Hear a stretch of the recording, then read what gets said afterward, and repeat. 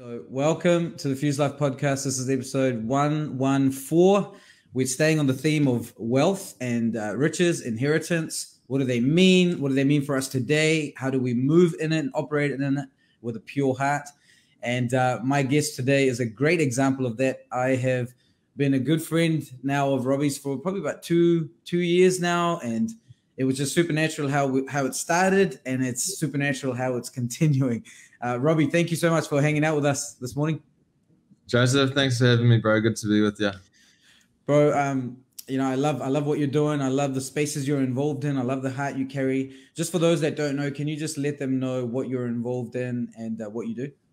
Sure, Joseph. No worries. Yeah. Hey guys, thanks for joining us today. Um, one of the things I'm going to be talking about today is actually defining an outcome that you care about that wealth will actually enable you to to function with. So for me, I didn't start off with a lot of money. Um, in fact, I was I was pretty broke by the time I was 18, 19. You know, I didn't come from a lot of wealth. Uh, and my aim, my goal, Joseph, was really to get to a point um, where I had time freedom. That that was the outcome I cared about. Was to get to a point where the decisions that I make, the way I conduct my life, wasn't limited or restricted by wealth. So any anything that I do, wealth wouldn't come into the equation of my decision. So anyway, by the age of around 27, I, I reached that goal, got to a point where basically I didn't need to work for money. Money was working for me and I had time freedom. And so that enabled me to then focus on all the things I wanted to do. So what I'm working on now is basically just building multiple businesses probably the one I'm focusing on a lot at the moment is um, our property development business. Um, it's called Nexus Development Group, based here in New Zealand. So we've got about this stage about 14 projects on our books that we're working through. Um, we've also got a property investment company that I've been building up for the last 10 years. So, um, you know, have have that going as well. And then another really exciting project that I'm working on is um, actually building what what I would define as a kingdom treasury. It's a foundation. It's based in New York. There's not Love a whole lot that I'm going to say about it right now because it's still sort of in, in the secret place, but it's going to be coming out soon. And that's that that project asks the question: How can we collectively, as believers, leverage our collective wealth to bring transformation?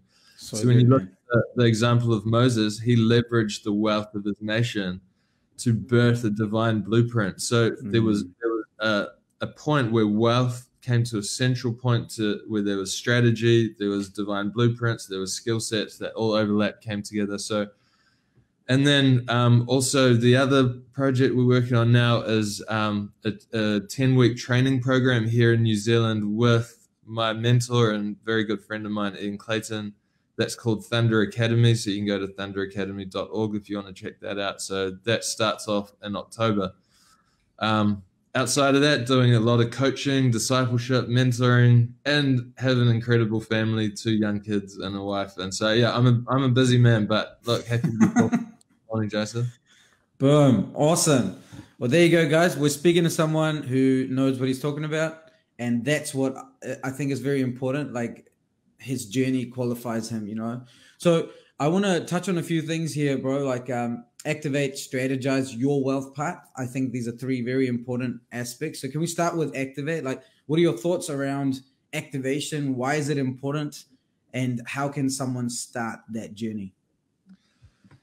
Yeah, like I guess I guess I'll um I'll start off with a story. So when you look at the prodigal son story, which we all know, if you've read your Bible, you know it. But the, the interesting thing is the older son, right? He gets frustrated that the father, you know, um, what the father did for the younger son, and the father's response to me is is just so incredible. He says to him, the father says to the son, "Everything that's mine has always been yours." So in other words, why why didn't you just take what already had your name on it?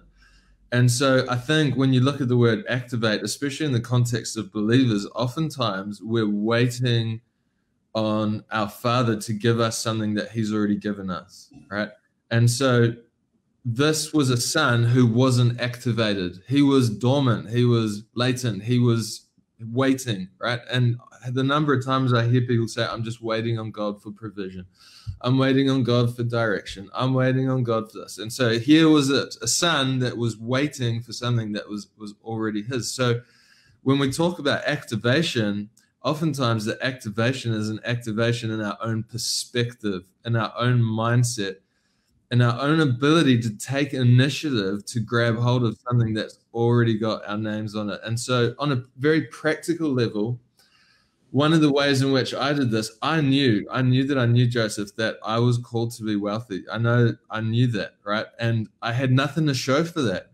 I had no physical evidence around me. I it didn't it wasn't reflected in my bank balance. It wasn't reflected in my my balance sheet. It wasn't reflected in my assets. But I knew that I knew in my spirit that I was called to be wealthy. So one of the things that I learned about is is the importance of creating a visual anchor for for that which you are believing for right? And so one of the things I did is I printed out my bank account and had my name on the top and my bank account number.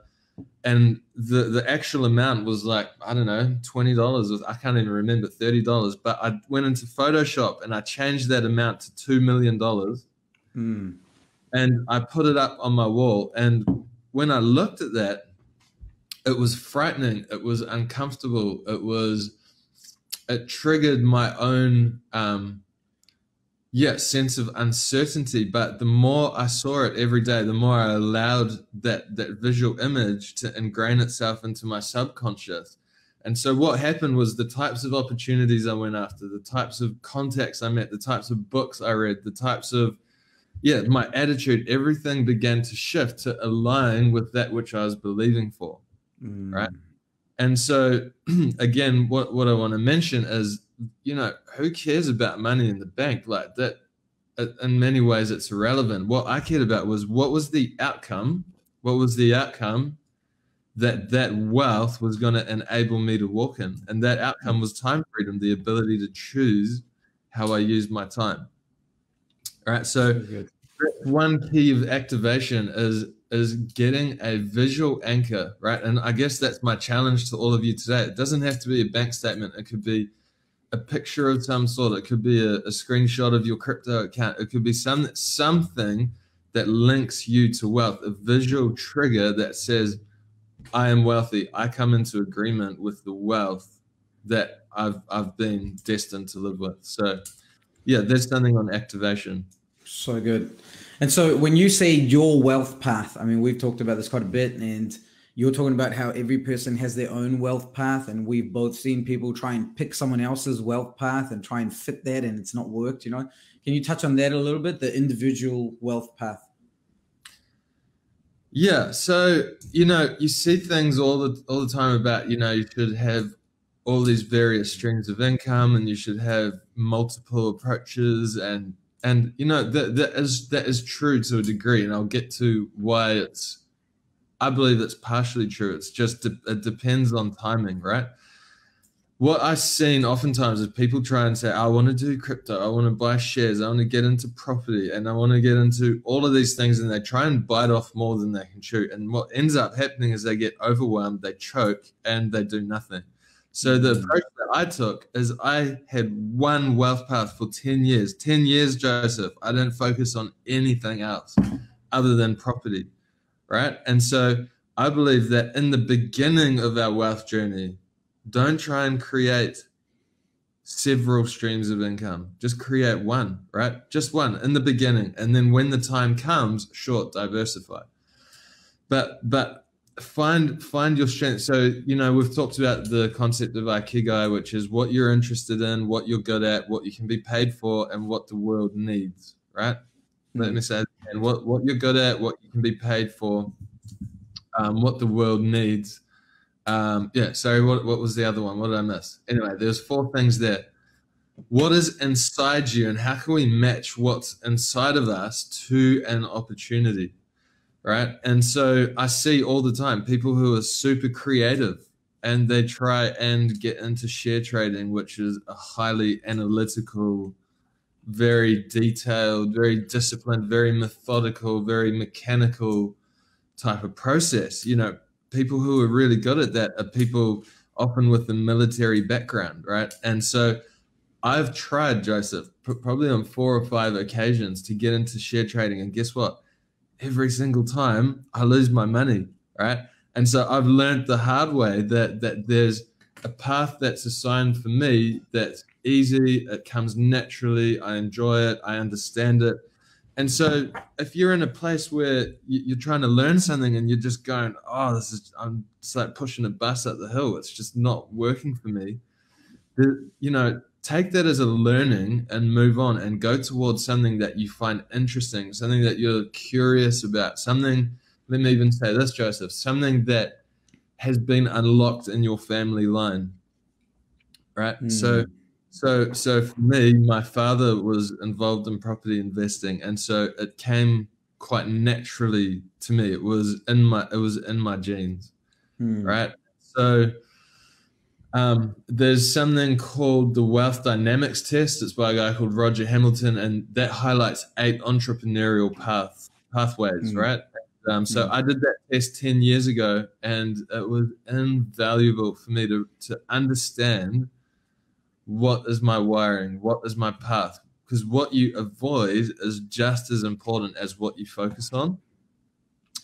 And mm. what I would say to that too, Joseph, is if you can identify someone who is wired similarly to you that has succeeded and you can sort of trace their steps as to how did they get to that position right? We live in a world where we get taught in our education system don't cheat. Don't look at your don't look at the answers of the person next to you. Well guess what? In real life it's the opposite. Look at the answers of the person next to you. Look at mm. what to their success. Look at the process of what, what strategies did they implement? How did they go about it?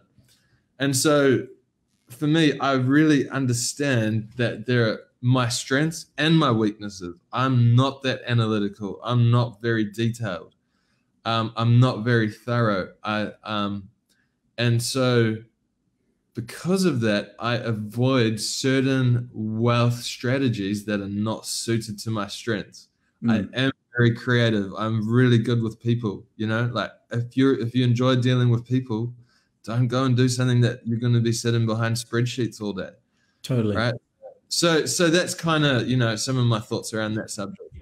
Yeah, and I just want to just piggyback off that a little bit. I've seen that in my last 13 years doing business and the types of business that have been in the flow and the types that haven't. You know, so the trading stocks, shares, or even crypto to an extent like there is you know like i, I know my sweet spot and uh, like like you with people uh, going back and forth and there is a certain type of person that i can have a conversation with that some people just get drained from you know?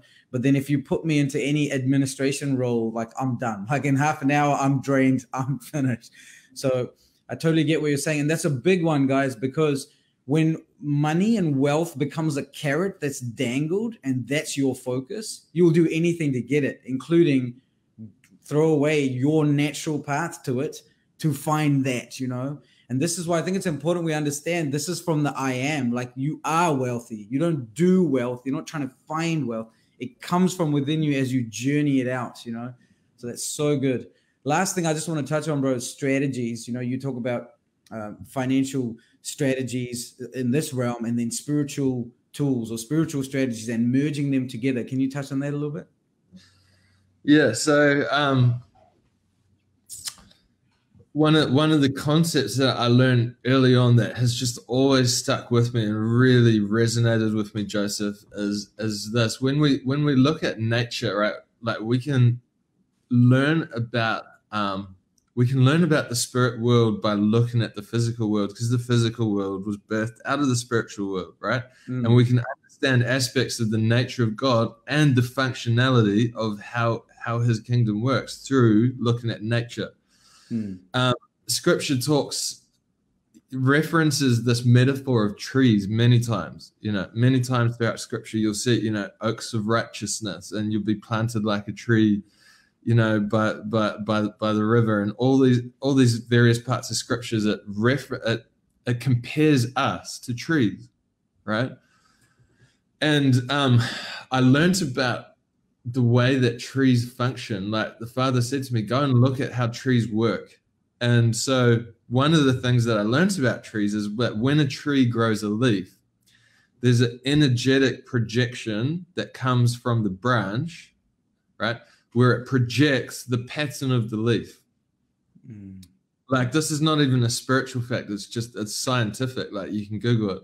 The branch projects out energetically a pattern of the leaf so that when the material forms, right, when the leaf grows, the pattern of the leaf is is informed by the pre-existing energetic projection. Wow. Right? So think about that for a second. Um, whatever pattern the tree projects is what materializes physically. Okay. So, in our hearts, in our lives, the circumstances we live in are informed by the energetic pattern that we project. It's not a complicated process. I know some of these words might might seem a little big. I'm trying to boil it down to its simplest form. We have something like 80,000 subconscious thoughts a day.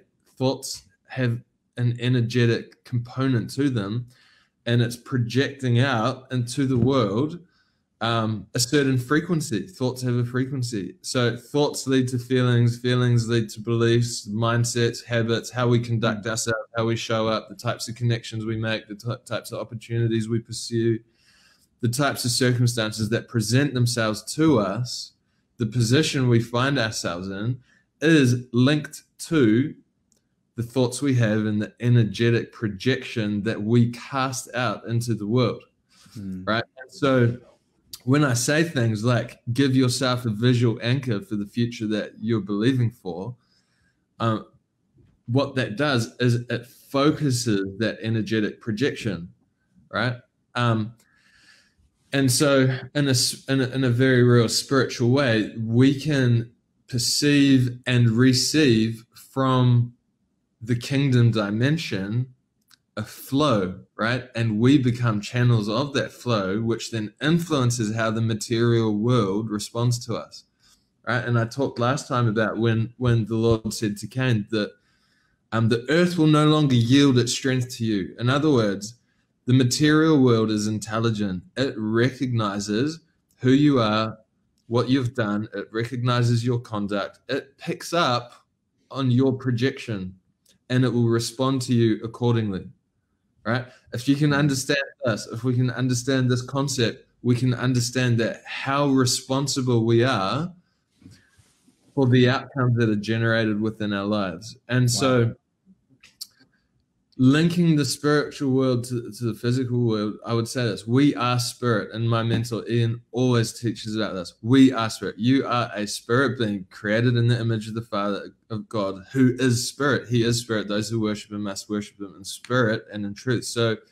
we are called to expand what already exists in that spirit dimension into the physical dimension right? So that is then worked out in very, very practical ways. And we can learn about this from people like Moses, who, who went up and the father said to him, See to it that you build according to the pattern that I showed you in the mountain. Build according to what? A pattern.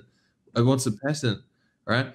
Where did he show it to him? In the mountain. What's the mountain? A governmental arena in the spirit dimension where Moses was responsible for birthing a pattern that was designated in his time that started in a heavenly dimension but materialized in a physical dimension. Nehemiah was an entrepreneur who brought together resources around a dream. So I just want to finish with this thought, if I may, Joseph. Um, the is there any other questions on that? And if I could just finish with a thought, that'd be great. Uh, that's great. I was going to ask you one last question, not on that though, but up yeah. to you if you want to. Yeah, go for it. You mentioned that you were, you know, you're broke or you didn't have much money in your bank account, right? And you started to have a visual anchor. You started to change your thinking. You started to change different things in your life. Can you touch on one important thing that you had to change to come here? Otherwise, you couldn't get to where you're at now. Um. Okay it was an early principle as well that I learned. It's the the Jewish concept of terumah, which is um, which is one fortieth of a day's wage. And so it's called your first fruits, right? And so what I started doing is that when and I, I saw it like this, Joseph, that the Father was revealing himself to me through his body. Because if we're the body of Christ, then the Father reveals himself to us oftentimes through people. And so mentors would show up. You know, um, people would show up who would share keys and strategies, or people would show up and give me a book and or invite me to a conference or share ideas where where I had mentors, when I had people investing into me, whether it was time, whether it was knowledge, whether it was ideas, I would honor them financially. I would give. And so I think one thing that I did really well was even when I had very little, I would give to my mentors. I would give. And I still to this day I do that. And I would attribute that as one of you know you can't you can't really succeed without that and oftentimes when when people say to me you know i want to be wealthy i say who's your mentor and are you paying them you know so and i see that i so honor what you carry and the people that you're mentoring and and and and yeah just so faithfully walking with i love that but you know we think sometimes we can learn a thing or two just from a podcast or youtube or a book all that stuff's great and i definitely learned from that but when there were people who were willing to invest their time, their effort, their energy, their ideas into me, I honored them financially. If you do that, everything will change. If you don't do that, good luck to you. and I I can second that just with my life too, and um, giving even when you don't like I know we, we can turn it into a religious practice, which some people do, but it's really a matter of the heart and a matter of maturity because you become like your father in heaven, you know? And um, so I know for me, same thing, Terumah, and that kind of shifted so much in uh, in finances for me, you know? So guys, like if you're like, oh, well, I don't have that much money, you give in percentages, you save up percentages and then you give, you know? So when I started, even though I didn't have much, I would just take a percentage, like the Terumah is a, you know, 2.5% kind of thing and I would let it accumulate and then give that, you know. So no matter where you are in your finance level, you have a percentage to give. It's not necessarily the absolute. And and it's not even actually about the amount. It is the heart that it's coming from that I believe opens up pathways that you cannot open any other way. So I love that, man. And uh, you said you had one last thought as we wrap this up. Go for it. Yeah, yeah. Thanks, bro. So the the other thing that I want to leave with you guys is this: that sometimes you know, to believe what means to hold on to, to grab onto something. Right. So so what we're talking about is to to grab onto something here, but we're also talking about letting go. Because letting go is equally important to holding on. So I want to finish with this story. So there's a guy in scripture that we see he's blind and you know he he walks up to Christ it says he lets go of his cloak and then the Lord heals him, he says to him, What do you want? You know, and basically that's what he says to him. What do you want? Which I think in and of itself is a very important statement. What do you want? Because um, it recognizes the will, his own sovereign will, and brings that into the equation, right? But what I never understood, Joseph, is why does this guy let go of his cloak? Like that's kind of random. Like why would the scripture say that? And so when someone explained this to me, it put it all into perspective. Back then in Israel, um, you couldn't just beg on the streets. You couldn't just beg. Um, you needed a license to beg, and that license was issued to people who had legitimate reasons to to beg. You know, people who were blind, people who couldn't work, people who were restricted in some way. Um, and so this guy was blind. He had a legitimate reason to beg, and that license was issued in the form of a cloak, right? So the cloak would indicate to people walking by, hey, this person is a genuine licensed beggar. He needs my money. And so what that cloak gave to that guy was a sense of security, right? The cloak wow. gave him, it was, Joseph, listen to this, brother. It was his source of income mm. right? It, it, represented security, source of income. It, um, it, it, made, it was a sense of comfort to him. He was comforted in knowing as long as I carry this cloak, I'm going to be okay financially.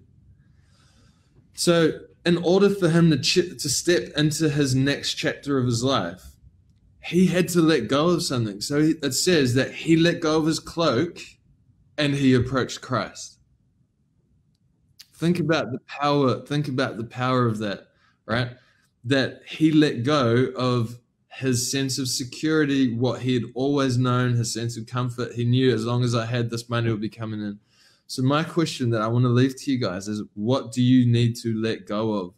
Sometimes it's a mindset, sometimes it's a belief, sometimes it's a habit, sometimes it's a relationship, sometimes it's a job, sometimes it's a geographic location.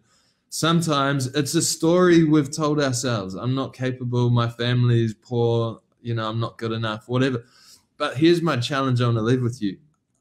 Ask the Father to show you, Lord, what do I need to let go of in my life in order for me to receive from your hand what you want to give me. So that story inspires me, Joseph, because I've seen countless people that I've walked with, mentored, let go of a job, move into their own business, let go of a relationship, move into something better. And always there's a price, there's a cost, there's a sacrifice. It takes something of us, right? And so I guess this answers your question as well. There has been so many times where the Father has asked me to give something that I really didn't want to give. Mm. And it cost me everything. Things that are dear to me. You know, Abraham, sacrifice your son, right? Um, what is that for you, right? What do you need to grab onto? What do you need to let go of? Right, let's just boil it down to those two very simple concepts. But guys, you know, um, Joseph will probably talk more about this, but would love to see you on the rest of the journey. I'm going to go a lot deeper into these subjects and many more subjects. And you know, I challenge you: invest in your financial future. You will you will get it back and much much more. So, love to continue the journey with you, Joseph. Again, thanks so much, brother, and uh, back over to you. Bro, this is so good and this is gold. So let me wrap this up with something here. Okay. So we're not hyping things up. We're not hype, hype, like, blah, blah, blah, you know, like we're just straight talking, straight talking. And one of the biggest things in my heart is to take people somewhere. Like at the end of my journey, I don't want it to be that we kind of just talk stuff and people's lives never change. So when you look at Robbie's life, at Brian's life, at Sebastian's life, that is our focus. That when people engage with anything that we're doing, they move. And so we've been setting something up for you that you can move your next step, your pace, your journey, your blueprint, your wealth path, and mm. how this is really important for your purpose. You know, so uh, we did a podcast probably four or five days ago. You can check that out on the same page. And it's a longer podcast with uh, Brian Orme, Sebastian Harris, Robbie, and myself. And we talked a little bit about this journey. And now we're going deeper. Tomorrow, I'm going to go deeper with Sebastian. Then I'm going to go deeper with Brian. And then next week, we're going into a workshop. You want to be on that workshop. Like we understand the importance of uh, collective consciousness, you know, the teamwork. We understand the importance of everybody rising. So our heart really is that you would also come to a place where then we could all strategize, develop together, come together and shift this whole planet, which I believe we can. And I know Robbie totally believes we can. So we want to invite you onto that. It's a free workshop. And uh, for some of you, this is your great next step. And then for some of you, this is a step on your way to springboard. You know, as you heard from Robbie, like this is this is we're still in the shallow end of the pool. Like there is so much more to go. And um, I think you're really going to find a lot of value. So I put the link in the caption. Check that out. Register. It's uh, it's going to be amazing. It's for four days and it begins seven days from now. Okay, so next week, Tuesday, New Zealand time, we start this wealth inheritance or wealth architecture workshop, which is going to be amazing. So make sure to check that out. Otherwise, uh, that's it from us today. And I will see you tomorrow morning with another episode. So, Robbie, you stay with me, but everyone else, catch you later, guys. Take care.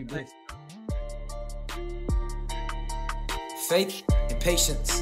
Faith and patience. Patience means allow it to happen. Stay the same. Stay persistent. Keep going.